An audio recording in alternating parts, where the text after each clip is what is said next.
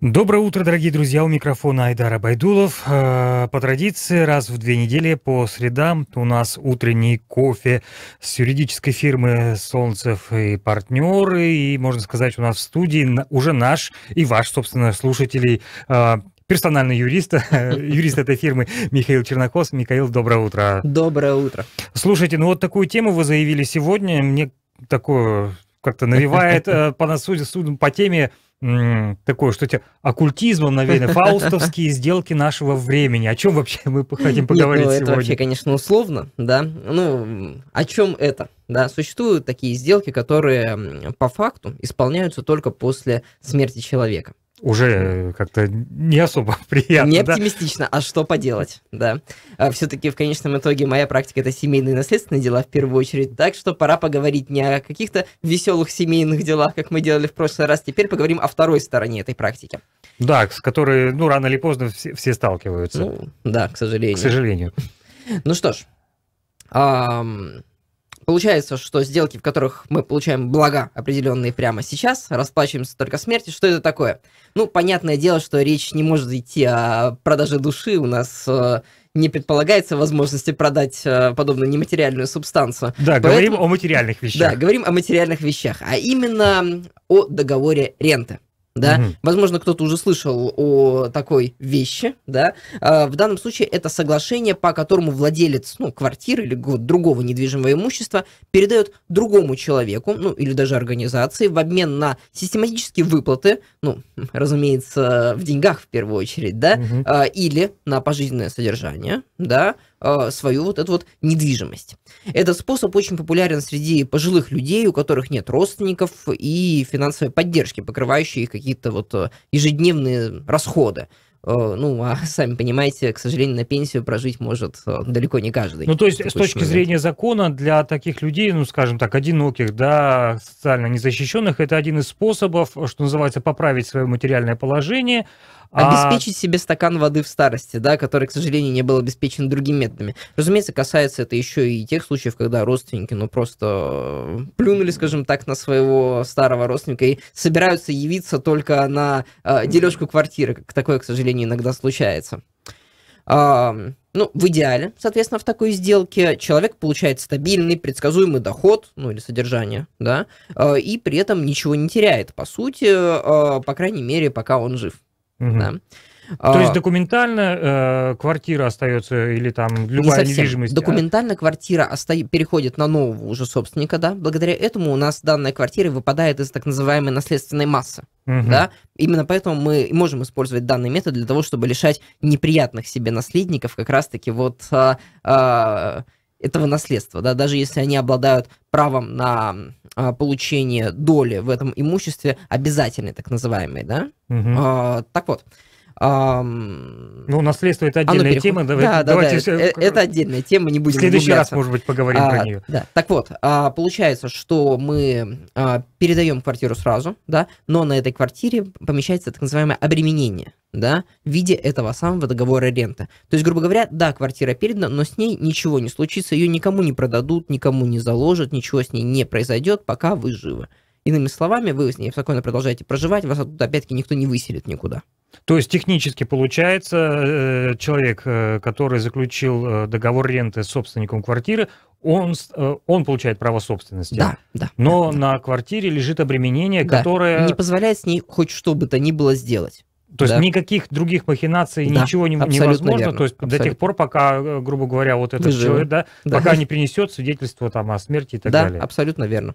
Пока не будут завершены условия, скажем так, выполнены условия договора ренты.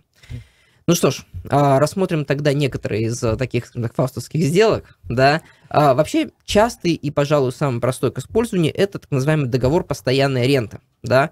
Тут суть достаточно проста. Ну, собственник квартиры или другого имущества, он просто передает его в обмен на обязательство периодически выплачивать определенную конкретную сумму денег, да.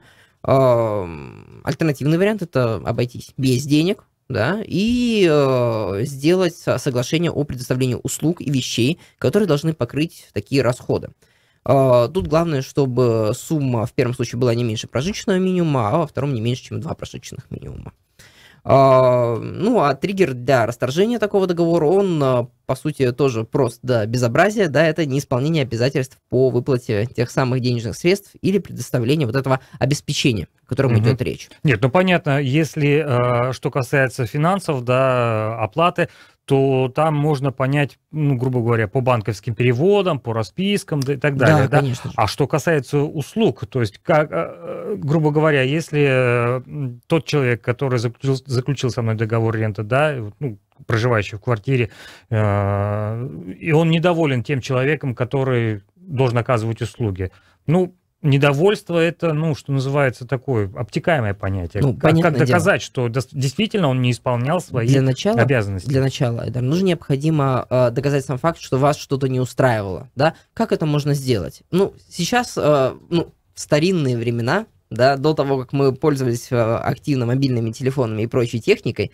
тогда у нас не было особых вариантов, нужно было направлять претензию своему, скажем так, э, человеку, да, который mm-hmm. не выплачивает деньги или не оказывают услуги. не оказывают услуги, да, и э, уже следить за э, его поведением, да, после этой претензии. Если он не справлялся, то тогда слать еще одно, еще одно, собирать, иными словами, доказательную базу в виде письменных доказательств.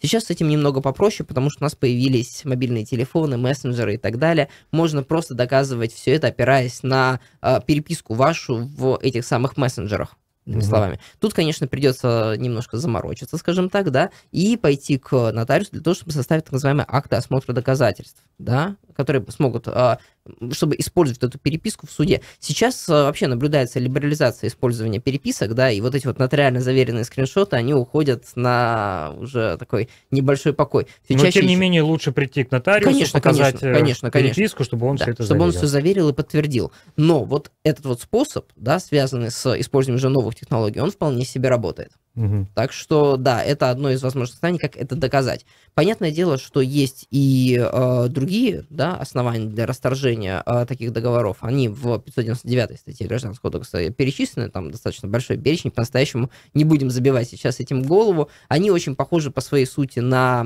э, дела по признанию недостойных наследников, да, по-настоящему. Поэтому то на то и выходит. Угу. Да? Так, а если говорить, вот у меня сейчас возник вопрос, ну, э, грубо говоря, вот мы возьмем ситуацию, пожилой человек, да, заключил договор ренты, но у него есть там какие-то родственники, да, те же будущие наследники, что называется, да, они об этом договоре ренты узнали и вдруг посчитали, что вот как бы вот э, их права как-то вот ущемлены, да, они могут оспорить этот договор ренты? А, ну, смотрите, конечно, чисто теоретически возможно, да, но для этого придется а, доказать, что лицо, которое заключало этот договор ренты, ну, бабушка угу. или дедушка, да, что они были в, скажем так, не совсем вменяемом состоянии, да. А, это возможно в тех случаях, когда стоят на учете в психдиспансере или что-нибудь такого плана, да. Опять-таки, опять-таки, тут весьма сложное время доказывания, выразимся так. Такие суды, они выигрываются, в принципе, не очень часто, поэтому чаще всего сделка по ренте устоит без каких-бы проблем, скажем угу. так. Да. Так, а, а заключается договор аренды обязательно в присутствии нотариуса? Или да, это конечно, конечно. Нет, нет, это требуется обязательно нотариальное удостоверение, да. Кстати, именно вот это вот обязательно нотариальное удостоверение, оно и приводит иногда к, скажем так, э, непониманию у людей, которые заключают эти договора, что они конкретно делают, да, то есть есть договора там еще дарения разнообразные, купли-продажи, которые тоже можно заключать у нотариуса, при этом набор вопросов у нотариуса по-настоящему очень похож, да, когда этот договор заключается. И, соответственно, иногда люди просто путают, что такое аренда, что такое дарение, что такое купли-продажа, да, и вот, э, тем более старые То есть, люди, и, собственно, пожилому понимаете. человеку могут, что называется, просто, ну, подменить договор, ну, да, ему скажут на словах, что он заключает договор ренты, а на самом деле он может оформить ну, договор дарения. Открыт, и там... Открытым текстом при нотариусе, конечно, так ну, не я не говорю, да? что это при Но нотариусе. до этого, до этого, да, к сожалению, Но нотариус, наверное, должен же удостовериться, или это не его обязанности? Это его обязанности, но, к сожалению, далеко не всегда эти обязанности исполняются надлежащим образом, да, ну, поток людей большой, всем иллюзии, угу. и, к сожалению, не всегда это видно, вот, чтобы исполнялось хорошо. Напомню, сегодня гость рубрики «Утренний кофе», юрист юридической фирмы А, солнцевый партнер Михаил Чернокос. Говорим мы сегодня о э, договорах ренты. И до перерыва мы начали говорить о том, что существует два типа. Да, и как так, расторгать, да, поговорили еще да, вкратце. Так, ну вот все-таки два типа. Значит, один это договор... Э, ну, давайте, начнем. Да. А, первое, это договор ренты с пожизненным содержанием. Uh-huh. Да? А, не так уж и редко встречаются ситуации, когда пожилой человек не может себя обеспечивать, да, у него нет родственников, готовых помочь, ну или есть, ну, как я уже говорил, придут только на дележку квартиры. А, сдавать свою квартиру такие люди не готовы, переезд они тоже не потянут, да, при таком раскладе можно передать свою недвижимость другому человеку за обязательство платить деньгами. Еще раз, оплата проводится деньгами, да, то есть не вещами и не услугами. То есть, заключая договор пожизненной аренды, плательщик обязуется содержать пенсионера до конца его жизни. При этом он уже может по-настоящему жить в квартире, да, угу. это вот особенность, а, оплачивая ее будто в рассрочку. А, при этом ренту нельзя передавать по уступке третьему лицу, да, то есть вы вот с кем заключили, с тем этот договор и будет работать.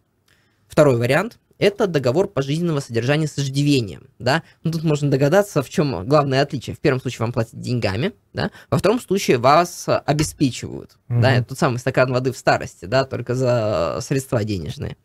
А, вместо ежемесячных платежей, соответственно, будущий владелец квартиры вот такой вот должен ухаживать за нынешним владельцем квартиры. И в отличие от пожизненного содержания э, квартиры, у нас иждивение предполагает не только э, денежную выплату, но еще и покупку еды, да, угу. и одежды, лекарств, вещей, да, поддержку здоровья, помощь с бытовыми делами какими-то, лично или путем оплаты услуг профессионалов. А, суммы, которые тратятся каждый месяц на содержание такого вот получателя ренты, не должны а, быть меньше двух прожиточных минимумов. При этом владелец а, недвижимости и осуществляющий уход в таких случаях, как правило, да, живут вместе. Ну, по понятным причинам, mm-hmm. потому что иначе осуществлять иждивение будет весьма проблематично. Ам, собственно, теперь главное, зачем мы здесь собрались. Поговорим о плюсах договора ренты. Да, Вообще, зачем оно нам надо, как говорится? Ну, кроме вот этих вот специфичных э, э сценариев, которые мы разобрали в первой части, да, касающихся mm. возможности там э, уйти э, и увести имущество из-под носа у неприятных наследников, да. Э, ну что ж, Получателю ренты выгодно заключение такого договора, это нужно понимать, потому что особенно если у него ну, есть вообще еще одно жилье, это вообще идеальная ситуация. И вместо сдачи в наем со сменой арендодателя и несением ответственности за такое имущество обеспечивает себе просто безбедную старость с гарантией ежемесячных выплат. Э, договор гарантируется залогом, то есть самим передаваемым имуществом, и финансовое обеспечение сохраняется, даже если жилье станет непригодным для проживания. Да? Такое ведь тоже может быть, да, то есть... Ну, то есть, если там соседи затопили или, не дай бог, пожар случился... Ну, вот пожар, наверное, ближе к данной ситуации, да, к правде, потому что после затопления соседей обычно жилье все еще можно использовать, а вот после пожара уже может быть проблематично. А, собственно, плательщик в данной ситуации, он у нас тоже остается в выигрыше, да, с учетом стоимости недвижимости он получает квартиру или дом с меньшими затратами. Ну, тут, конечно, всегда нужно прикидывать, да, сколько еще проживет ваш, э, скажем так, э, рентодатель, но что поделать. Да? А, рантье при этом а, не может расторгнуть договор, а, и, и, ну, если условия соблюдаются. К тому же вариант с проживанием и иждивением, ну, безусловно, дешевле, чем снимать квартиру в большинстве случаев. Получается, там расход должны быть два прожиточных минимума, это 24 тысячи рублей, ну, это как... Это сильно меньше нынешнего платежа по ипотеке, я так mm-hmm. сказал бы, да. Что касается минусов договора ренты. А, во-первых, конечно, договор ренты, он отличается неопределенностью сроков долга. Да? А, до момента смерти пожилого человека стать а, полноправным таким, знаете, владельцем квартиры, чтобы не было никаких ни ограничений, ни обременений, ну, просто невозможно. И, кроме того, плательщик берет на себя все расходы на нотариуса по заключению договора, получению всех необходимых справок, да. При этом владелец квартиры, в свою очередь, может стать, ну, жертвой мошенников, да. То есть нередкий случай, когда рантье старались э, жить просто со свету, чтобы меньше платить, скорее его mm-hmm. имущество заполучить. Ну, такое, к сожалению, бывает.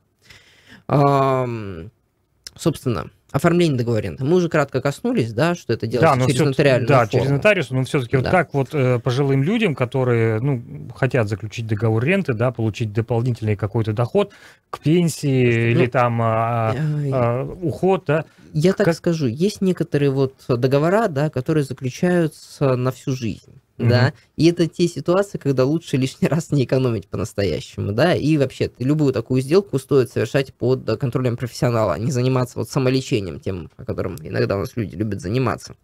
Ну, а, типа посмотрели в интернете, почитали, да, типовую распечатали и так далее. Да, да, да. Ну, как я уже говорил, случалось, что там под видом договора аренды владельцу иногда давали подписать договор дарения, да, человек лишался квартиры, возможности претендовать на финансовую помощь, да, а плательщику со своей стороны необходимо помнить, что даже если квартира будет уничтожена, да, там сгорела, разрушена, придется соблюдать условия договора до самой смерти ее собственника. А, если сам плательщик там внезапно скончается, да, то обязанности по уплате иждивению перейдут в том числе к его уже наследникам в свою очередь очередь. Да? Угу. То есть это... А, то есть получается, ну, если так случилось, что тот человек, который платит содержание, да, э, договор на этом не заканчивается. Да, конечно. То есть э, ваши наследники получат, конечно, и квартиру, да, в свою угу. очередь, и вот это вот необходимо... И вот это обременение. Да, абсолютно называется. верно, да. То есть э, за дедушкой придется досматривать уже вашим детям, в свою очередь. А, ну, все так же вот сохраняется, конечно, риск оспаривания договора ренты со стороны наследников владельца, но, повторюсь, там шансы не очень высокие, если нет никаких-то вот таких вот а, конкретных психических да, заболеваний. А, при этом, когда планируете передавать квартиру в ренту или заключать договор, вот чтобы стать ее собственником, заручитесь профессиональной юридической помощью обязательно, да, это поможет избежать а, серьезных рисков, потому что договор нужно составлять заранее, прописать все варианты расторжения соглашения, ответственность сторон. Обязательно необходимо присутствие нотариуса да, в таком соглашении, потому что если вы сделаете подобное соглашение без нотариуса, то это будет просто бумажка, которую никто никогда не примет. Да? Угу. И любой наследник, который придет разбираться с этой ситуацией, любой наследник, он сможет а, просто взять и эту бумажку оспорить угу. банально. Вы не сможете ничего с этим сотворить. А, конечно, после того, как вы заключили данный договор, на этом ваши потенциальные проблемы не заканчиваются. Да? А, это все-таки не просто какое-то мана небесное, да, это самый настоящий договор. У договоров необходимо подтверждать, да, что вы что-то делаете. Да, его исполнение. Вот, а, конечно, тут уже в первую очередь это интересно не пенсионеру, скажем так, да, угу. дающему, сдающему свою квартиру в ренту, а именно плательщику ренты. Понятно почему, да? Мы уже обсуждали чуть ранее в первой части угу. о том, что а, как оспорить этот договор со стороны пенсионера, да? И вот именно поэтому и надо подстраховываться. То есть оказали услугу, в конце месяца подпишите акт выполненных работ, да, о том, что вы действительно оказали эту услугу, что пенсионер всем доволен, он поставил свою подпись, все хорошо. Заплатили деньги, отлично. Вы либо получаете расписку, да, либо вы их переводите все-таки безналичным платежом для того, чтобы потом ну, можно соответственно, было... у вас есть расписка, да, банк, да. не расписка, а банковская... Да, банковская выписка о том, что да, действительно вы эти деньги переводили. Очень внимательно следите за тем, как изменяется размер минимального а, Разми... размера, да, минимум, прожиточного да? минимума, да, он у нас меняется там буквально каждые три месяца, грубо говоря, да. Только прожиточный минимум или МРОД? А, минимум, минимум, минимум, минимум да, да, угу. да, то есть а, МРОД тут угу. ни при чем, да. А, соответственно, он нас меняет систематически, да, и чтобы у вас не было ситуации, когда вы продолжаете платить по старому значению, оно уже изменилось, а в результате не исполняется требование о двух прожиточных минимумах в виде платежа. Это да. уже нарушение. Пусть да, там это, даже да, это расхождение уже... в 50 да, рублей, конечно. грубо говоря. Скорее всего, суд такой ситуации пойдет на, скажем так, снисхождение определенное, угу. да, но, но, но, но все равно. Буква это закона форм... есть буква закона. Да, формальное основание существует, и лишний раз рисковать я бы просто не рисковал в данной ситуации. Угу. Вот и все. Что еще можно сказать э, такого основополагающего, кроме того, что, значит, договор ренты у нас э, заключается э, только с присутствием нотариуса. Да, только с присутствием нотариуса. Обязательно прописывайте все очень максимально подробно, что только можно придумать, да, в этом договоре. Э, все условия. Если вы хотите, можете прописывать вплоть до того, какая конкретно поддержка будет оказываться пенсионеру в рамках этого договора, чтобы потом не было разночтения о том, что он там думал, что вы ему должны э, золотые горы да, обеспечить, угу. а по факту нет. То есть да, даже перечень услуг, которые должен оказывать. Ну, желательно, да. То есть эти договора желательно, чтобы они были максимально подробными, да, чтобы потом не было каких-то разночтений. Он заключается на длительное время, да. Ну, человек, он, конечно, смертен, тем более внезапно, но иногда он бывает и живет достаточно долго. Так что... Поэтому лучше все-таки э, в, в таких случаях обращаться к специалистам, к юристам, которые помогут в составлении правильного договора, который а, потом, ну, потом не будет уже можно будет завизировать у нотариуса, скажем так. Да. да. Вообще вся вот эта вот тема с а, рентой, вы должны понимать, это часть достаточно крупной темы наследственного планирования как такового. Оно применяется и для бизнеса в том числе, и для вот таких вот обычных случаев. Угу но это уже такая объемная тема. Постараемся разбить ее на несколько кусков и уже рассказать о ней по частям.